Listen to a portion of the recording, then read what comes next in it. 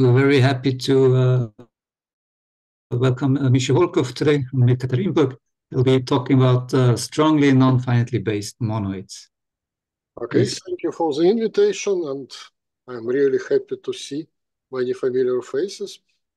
Uh, so, as said, uh, I'm going to speak about strongly non-finitely based monoids, and it is a joint work with a young colleague, Sergei Gusev, and uh, Olga Sapir. Okay, so I'm going to speak about the finite basis problem. I'm not going to define formally what it is, but informally, it is the following question. So we are given an interesting structure S, which is a set with a bunch of operations on it. And we ask whether or not the identities of uh, this structure S admit a finite basis. Uh, finite basis means a finite list of identities that infer uh, every identity holding S. If the identities of S admit a finite basis, we say that S is finitely based. Otherwise, we say that is S is not finitely based, non-finitely based. So uh, FB or not FB, that is the question uh, which we want to consider. What is surprising, perhaps a little bit, that even a finite structure can be non-finitely based. So the structure can be small, finite, but uh, it satisfies so many identities, and the identities are so complicated uh, that they don't um, allow for um, finite axiomatization. Uh, one of the smallest example uh, is so-called Mursky groupoid, which is a three-element groupoid. So just three elements with one binary operations. Uh, but recently, uh, another example of uh, a non-finitely based three-element structure has been discovered, a very nice one by um, Marcel Jackson, Miao Miao Ren, and Xianzhong Zhao. Uh, it is a three-element semi-ring with idempotent and commutative addition and commutative multiplication. It is a really remarkable example uh, that such a easy structure with such a nice uh, operation uh, does not have any finite identity basis. One of the classical example within the semigroup theory is the Brandt-monoid B21. It is formed by six two by two matrices, just usual matrix units. Uh, the identity matrix and the zero matrix, and the operation is just the usual matrix multiplication. It is a result by Perkins from 69. So we see that very transparent, very natural, and you can say very finite structure uh, can be non-finitely based. Uh, Tarski uh, in the early 60s uh, suggested uh, to study the finite basis problem for finite structures as a decision problem. Because uh, if you have a finite structure, uh, it is a constructive object. You can uh, write some encoding of the structure down on the tape of a Turing machine. And then you can ask this Turing machine to decide whether or not S is finitely based. So this is the Tarski's finite basis problem.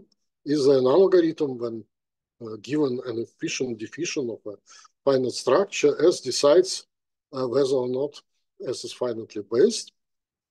And it is a fundamental question which was answered in the negative by Ralph McKenzie in this famous paper, even for finite structure with a uh, single operation. Uh, so I think it is very good news for people who study the finite basis problem that there is no automatic procedure so no computer can just uh, run a program to solve this problem. So you have to be clever than your computer to get an answer, at least in some cases. Well, for finite semigroups, the restriction of the finite basis problem uh, still remains open, I would say widely open. So, uh, and finite semigroups are unique with respect uh, to this situation because, as mentioned, if you go a little bit uh, broader, if you consider finite groupoids, groupoids, the problem is known to be undecidable due to McKenzie's result. On the other hand, uh, other classical algebras like finite groups, uh, finite associative or rings, finite lattices are all finitely based. And therefore, uh, Tarski's finite basis problem restricted to these classes is trivially decidable. The answer is always yes. So, uh, so but for semigroups, as I mentioned, uh, there are non-finitely based finite objects, and uh, we so far have no algorithmic description uh, of this finitely based object, and neither we know a negative solution like for groupoids. And perhaps uh, this unique position of finite semigroups with respect to the finite basis problem uh, makes this study of finite basis problem for the finite semigroups very popular. Uh, lots of results. Some of them uh, are quite nice and quite difficult. And uh, some times ago, I wrote a survey in which I tried to collect methods to analyze existing results and to outline possible direction for uh, further studies. The first version of this survey was published in these conference proceedings, and then I published a slightly shorter version in a journal because this initial version contains contains some proofs, some new results, which I excluded from this survey paper. Uh, and one of the methods uh, which I discussed there uh, is a method of inherently non-finitely based semigroups. Uh, let me recall that the class of all semigroups satisfying all identities from a given set sigma is called the variety defined by sigma. And the variety is called finitely based if it can be defined by a finite set of identities. Otherwise, it is called non-finitely based. And if you are given a semigroup, you can define a variety by all identities of S.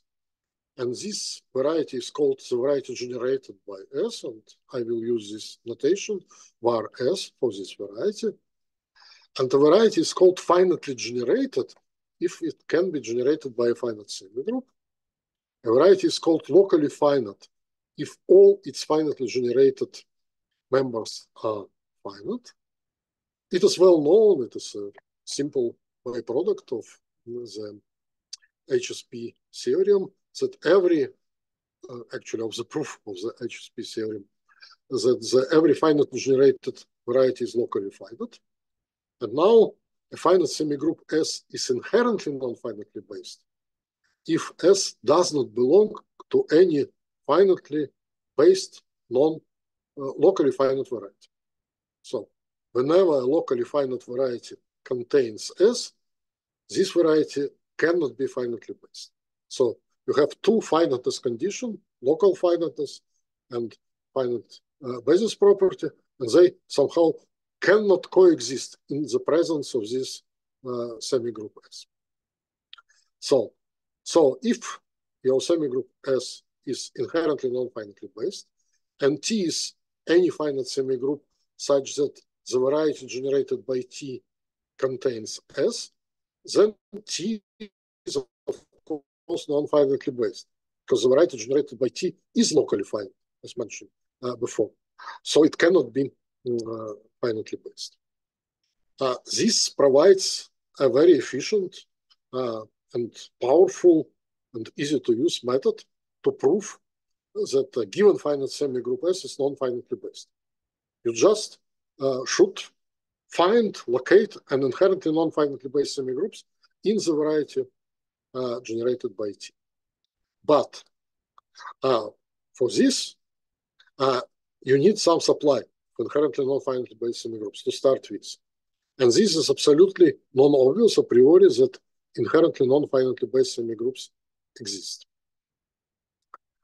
A little bit of history, this uh, wording, terminology, inherently non-finitely based, was also suggested by Perkins uh, in a different paper. Uh, even so, the very first example of an inherently finitely based finite algebra uh, was found by Mursky. Actually, he proved that his three-element groupoid, which he used as an example of non-finitely based groupoid is in fact inherently non-finitely based. So, but this was proved before this technology was established.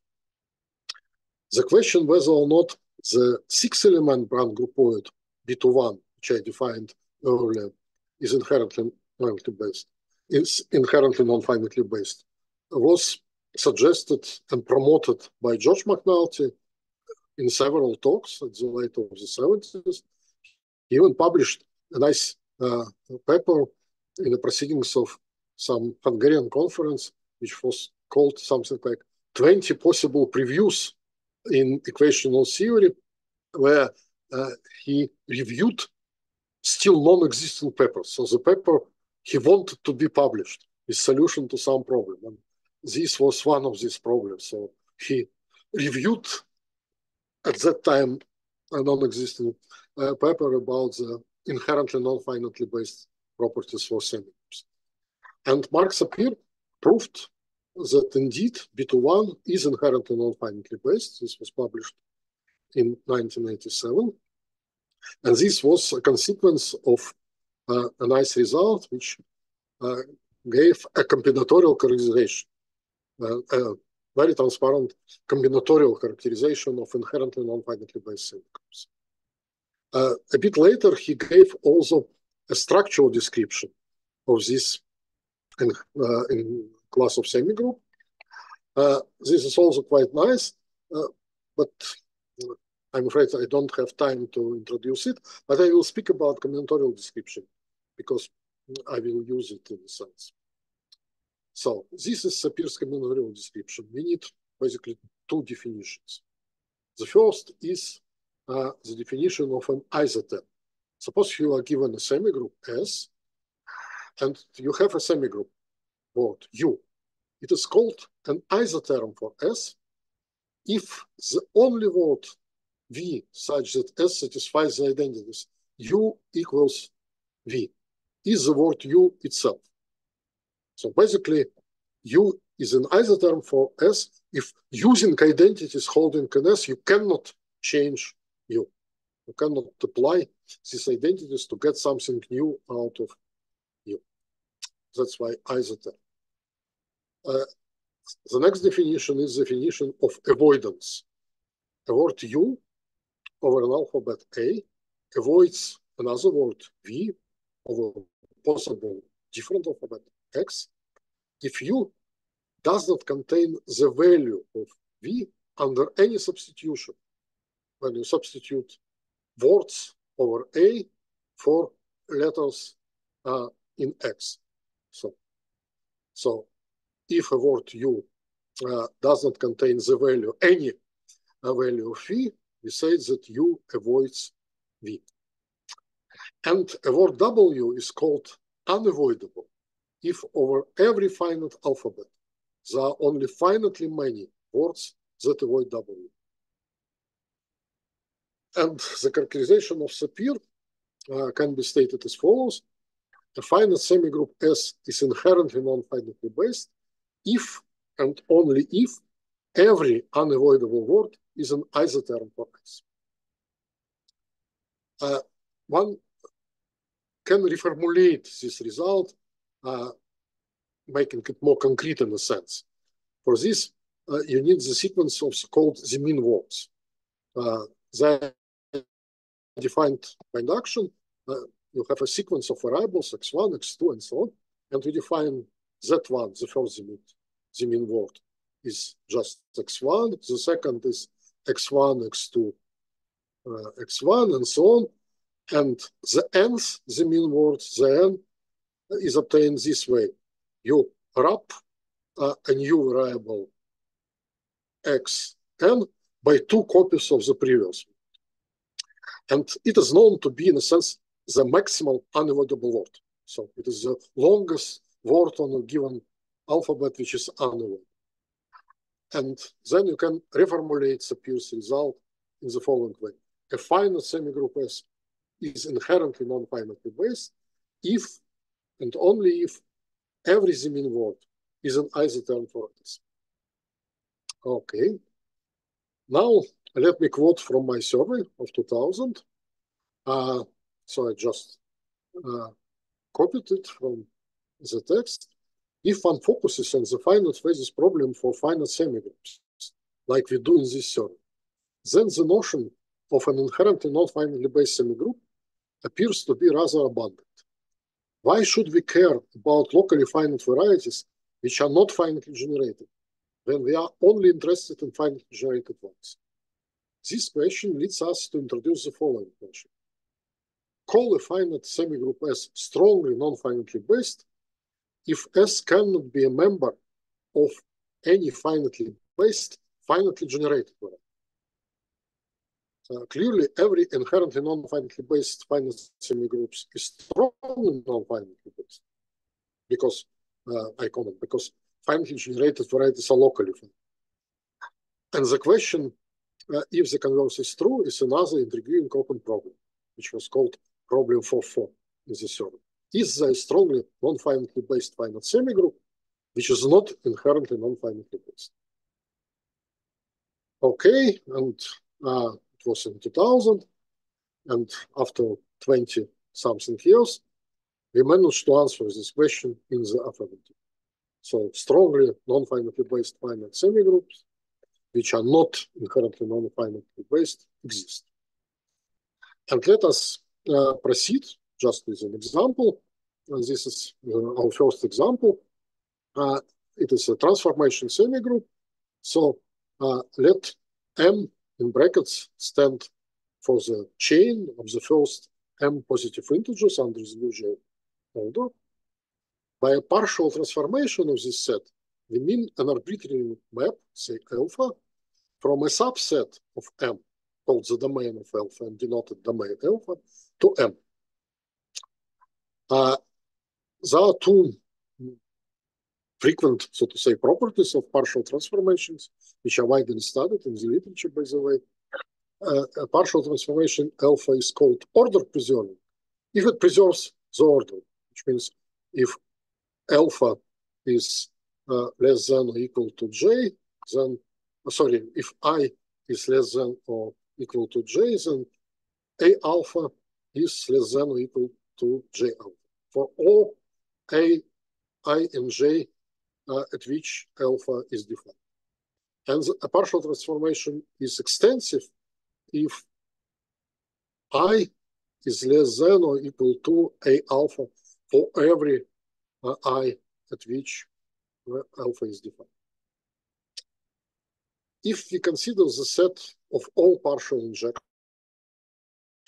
of this set M that are extensive and order preserving, we get a monoid because, of course, uh, the product of injections is an injection, the product of extensive transformation is again an extensive transformation, the product of order preserving transformation is an order preserving transformation, and the identity transformation has all these properties. It is an injection, it is order preserving, it is extensive.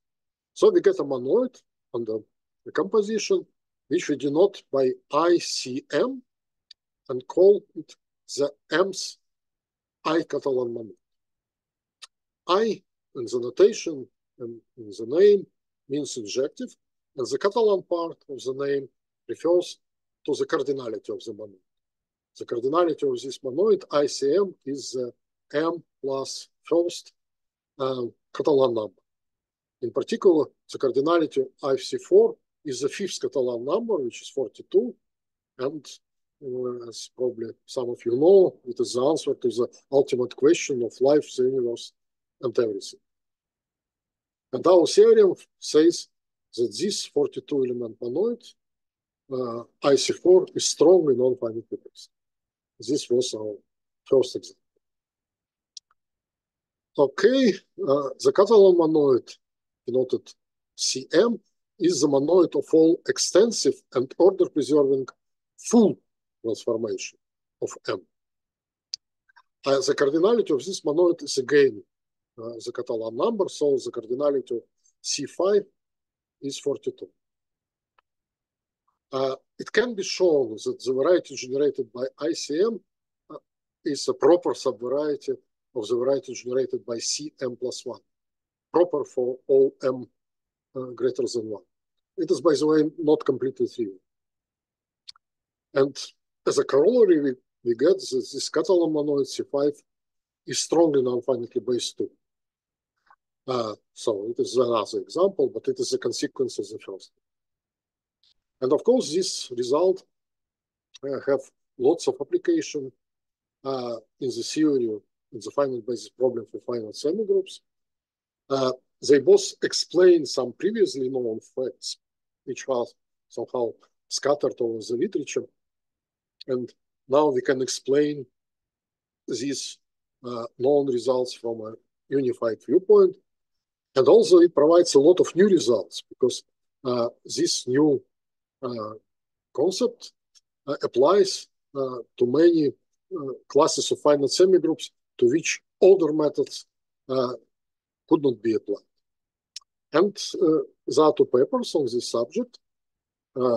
One is published in Journal of Algebra last year, and one is submitted, but not yet published, but it is available on arXiv. And uh, you can look uh, for numerous applications there. Now I have to check time uh, if I will uh, have time. Probably I have. I, I, will just restrict myself to one uh, example. So we are going to this example. It is related to the notion of a Coxeter group. So Coxeter groups are very classical objects, um, I would say, where algebra, geometry, and combinatorics meet. Uh, and uh, I'm using uh, this definition. So consider the symmetric matrix, the symmetric matrix CD, whose entries are positive integers, or maybe uh, the symbol called plus infinity. And it's called, it is called a Coxeter matrix. If, first of all, you have uh, identity, well, the number one on the main diagonal. And all other numbers uh, in the matrix are at least two. For instance, this is a Coxeter matrix. So you see it is symmetric. It has ones on the diagonal, and it has numbers larger than one everywhere else. We will draw uh, or depict such matrices uh, as diagrams. What is the Coxeter diagram? It is a graph with vertices 1, 2 to n. Normally, uh, the name of vertices are omitted. Uh, and it has the h connected i and j if and only if this number mij is at least 3. And in addition, if the number is strictly larger than 3, then the h is labeled uh, by this number. For instance, if you consider this matrix, uh, its Coxeter diagram, it has the name, it is called B3, is this one. Okay, it has uh, three vertices. You get here an H labeled 4 because you have 4 here at the place 1, 2. It has an H here, which is not labeled because you have three here on the place two, three. And it has more edges between one and three because you have two, not three, not four here. Okay. Now suppose you have this Coxeter matrix. Then you define what is called the Coxeter group, W of CD, uh, as a group generated by involutions or by elements S1, S2, Sn, subject to the relations Si as j uh, raised to the power mij is 1 for all i and j such that mij is not plus infinity. Uh, for instance, if you consider uh, the Coxeter group generated to B3, it will be uh, nothing by the symmetry group of the usual cube generated by its reflections. Okay, uh, since uh, we have ones on the diagonal, uh, this relation uh, star for i equal j means that Si squared is one. So each generator Sy is an involution.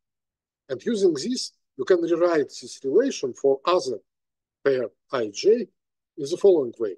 So you have S, I, S, J, and so on, uh, repeated M, I, uh, J uh, times. And it equals to S, J, S, Y, and so on. So if you just look at this and this, you multiply uh, on the right uh, by S, I, and J, you get this. Now, the zero Hecke monoid of the group is the monoid generated by S1, S2, Sn, subject to the same relations uh, for all i which are not equal to j, and mij is not plus infinity, and si square is equal to si. So basically you do a very simple trick. You use the same relations, except you substitute involutions by idempotency. So you convert each involution si into an idempotent with the same. And you get a new object, it is a monoid, which radically differs from the algebraic options. It has nothing in common with groups. It has no subgroups, so subgroups are trivial.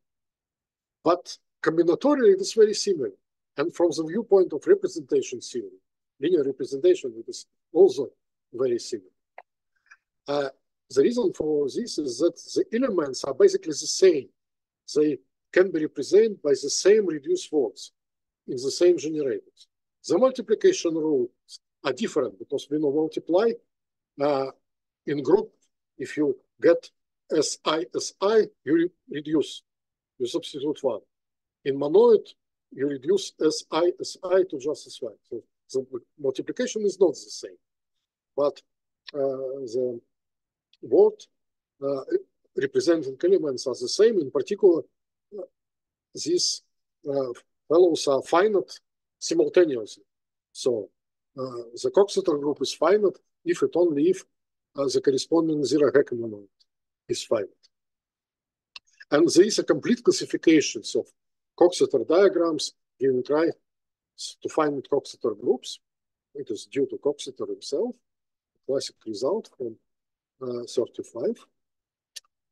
And uh, what we did, we basically solve uh, the finite basis problem for almost all finite zero Hecke monoids.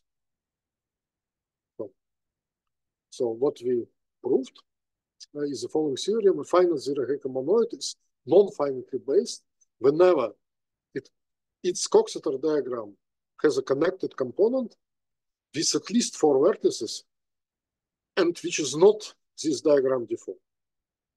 So all other uh, zero Hecke monoids with connected uh, com uh, Coxeter diagrams are non-finite based. Using some uh, earlier result by Olga Sapir, uh, we are left uh, with unsolved uh, problems only for these cases. I4, I5, A3. It is a Coxeter diagram of the symmetric group, S4. B3, which appeared before. H3, it is this diagram, diagram and this diagram D4. So uh, the corresponding uh, monoids have size 8, 8, 10, 24, 48, 120, and 192. Okay, this was the first example and the only. Now, let me come, let me uh, um, come back uh, and discuss what we have done and what we have not yet done. So I'd like to compare it, which was done for the inherently non-finitely based case by Sapir. Combinatorial characterization. Uh, we have only one half of, of it so far. So uh, to formulate our combinatorial result, I need also a couple of combinatorial definition. If a letter X occurs exactly once in the word U, then we say that X is linear in U. Otherwise, uh, uh we say that it is repeated, uh, but uh, okay, it is not stated here, but we can formulate the next concept we sound using the name repeated letter. The word U is called sparse if every two occurrences of the same letter in U sandwich some linear letter. So, so if, if you have repeated letter uh, appearing twice somewhere, some linear letter sits in between. And our theorem says that the finite monoid is strongly non-finitely based if all sparse words are isoterm. So if all sparse words are. Uh, similar to Sapir's combinatorial characterization of inherently non-finitely based semigroups, uh, this statement can be made more concrete uh, because instead of considering all sparse words, we can consider some specific family of sparse words. Uh, this time, another famous construction from combinatory of words comes into the play, namely the sequence of so-called Thue-Morse words. Uh, so I recall the definition, say you have two letters, x and y, and the first Thue-Morse word is just xy, the second is xyyx, and now you repeat uh, the following trick. Uh, the next word is the previous word concatenated with the uh, word where you swap uh, the role of the letters. So you write y in place of every x and you, apply, you write x in place of every. Okay. Now you sparsify, so to say, uh, this word. Uh, so the sp sparsification STN of the Thue-Morse word TN is obtained by inserting 2 to the n new linear letters uh, at all even positions of TN. For instance, this is the word T3, X, Y, Y, X, Y, X, X, Y. So now you insert a new letter in each uh, odd position. So at the beginning, oh, sorry, in, in each even position. At the beginning, it is zero position. Uh, this is the first even position. This is the second even position and you get a sparse word. Here you see you have only two repeated letters, X and Y, and every two occurrences of the same letter are sandwich a linear. And an equivalent formulation is a finite monoid is strongly non-finitely based if all uh, words STN, so this specified to a word, are isoterm Okay, uh, the major difference with uh, Sapir's result is that in Sapir's theorem, it was if and only. And here we have only one count. And we don't yet know if the converse is true. And actually we have uh, disagreement. So my guess is that the converse is, not true. Yes, but I might be wrong. Okay. Now about structural description. So I mentioned that Sapir gave a very nice structural description uh, of inherently non-finitely based semigroups. Here we have absolutely no idea so far. We have no structural results about the structure of strongly non-finitely based um, uh, semigroups. And we don't even know whether every strong non-finitely based semigroup contains a strongly non-finitely based submonoid. It is true for the inherently non-finitely based case. And it is actually an important part of Sapir's structure uh, description. So Sapir's result consists of two parts, and the first is exactly that uh, every inherently non-finitely based uh, finite semigroup contains an inherently non-finitely based submonoid. We don't uh, know if it is true uh, or not for strongly non-finitely based semigroups. Uh, even so, all examples we know at the moment are monoids. Okay, algorithm. So I mentioned that Sapir's result provides an efficient algorithm to distinguish, uh, so to say, to recognize inherently non-finitely based semigroups. So given the finite semigroups, you can uh, verify uh, from its, say, Cayley table whether it is inherently non-finitely based or not. I mentioned for the general algebras, it is undecided. It is follows from the same paper by Ralph McKenzie. But for semigroups, it is decided. But for uh, the property we consider now, this strongly non-finitely based property, we have absolutely no idea. What is the main obstacle? Why we cannot first because we have no equational characterization of finitely generated. So Sapir uh, used uh, in his result on the inherently non-finitely based problem a very powerful characterization obtained by uh, him, by himself, of locally finite semigroup parameters. Basically, he has described, okay, uh, to some extent, uh, locally finite semigroup varieties modulo groups. For, groups, it is a very difficult question because there are side problems.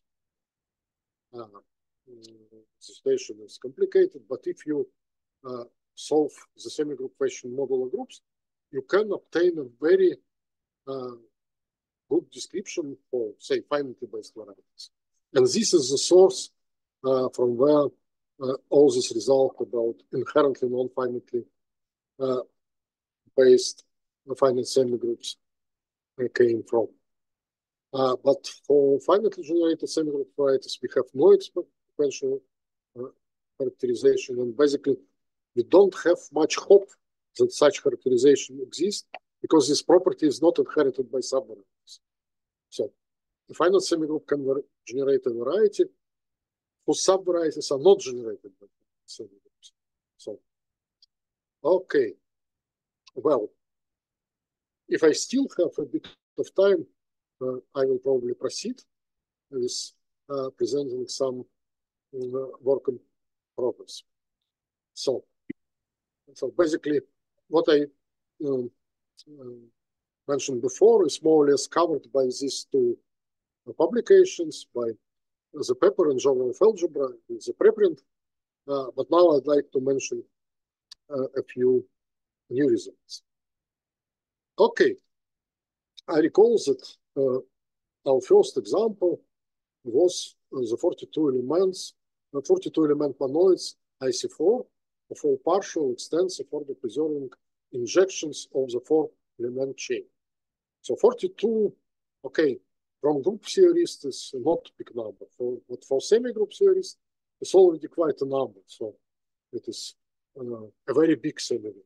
And of course, we were looking for a smaller uh, examples. And so to say, uh, we analyze what actually we used in this 42 element example, what features of this uh, semi-group were really essential.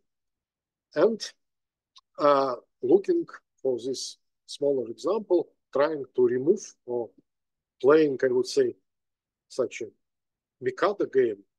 You know, there's a game where you put a lot of uh, some some small steps, uh, make a tower, and then you try to remove uh, one by one to not destroy this tower. So we did, we played this uh, game, and we have found a 10 element submonoid of IC4, which retains the property of being strongly non-finitely based. And this is a picture of non-empty injections from this submonoid. So I recall the elements of this monoid are partial injections, which are extensive. So they go up and they preserve the order, which uh, on the diagram means that the arrow do not cross. Of course, there is, of course, an empty uh, map, which is not, okay, we can pretend that it's displayed on this empty part uh, of the screen. And uh, we have nine other non-empty transformations. This is the identity transformation. This is an idempotent. This is another idempotent.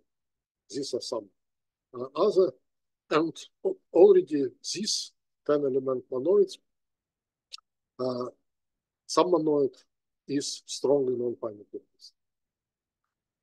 Uh, our second example of a strongly, strongly non-finitely based semigroup was the Catalan monoid of all extensive and order preserving full transformations of five element chain. Uh, again, we did the same deconstruction work with it, and it contains a similar but different, not the same, 10 element strongly non-finitely based subgroup. The smallest so far strongly non-finitely based semigroup uh, we know is the nine element monoid, uh, which is obtained, oh, sorry, type, by joining one, uh, the identity to the semigroup with the following Cayley table. So just don't ask me how we found it. Uh, uh, so we use, of course, some uh, search. We use Mace4 and so on. And uh, we came across this nine element guys. Uh, but this monoid is smaller in size than the 10 element monoids I mentioned before but it doesn't belong to the variety generated by SU4. So it, it is not smaller with respect to the variety inclusions. Actually, I don't know. I, I have not yet verified it. It is not excluded that the variety generated by this monoid contains one of these 10 element submonoids. It is still possible. So, but I don't know. I mentioned it is just work in progress. So, so the nine element example is smaller in size, but not with respect to the variable.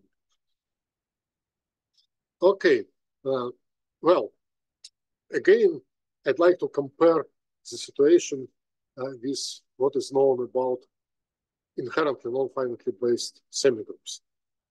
Uh, there, everything is known.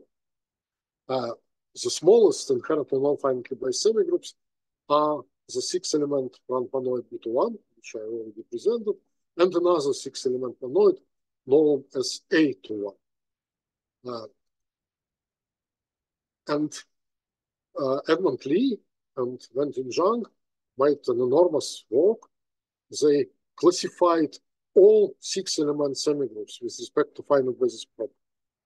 And it turns out that besides these two inherently non-finitely based semigroup, there exist exactly two non-finitely based six-element semigroups, which are not inherently non-finitely based, but still non-finitely based. And we have proved, uh, checked, it not difficult to check, that these two are also not strongly based. So what we have now, that the minimum size of a strongly but not inherently semigroup is either 7 or 8 or 9. So it is very tempting to uh, go through all these examples. Okay, we use Mace4, as I mentioned. Uh, and what we were able to check, that no monoid of size, monoid of size 8 or less uh, is strongly, but not uh, inherently non-finitely based via our approach. So all tools which we know uh, so far do not allow to find any uh, other monoid of size 8 uh, or less, which would be strongly but not inherently non-finitely based. First of all, it doesn't exclude, but you can find such a monoid using some other approach. Because I recall we have only one side result.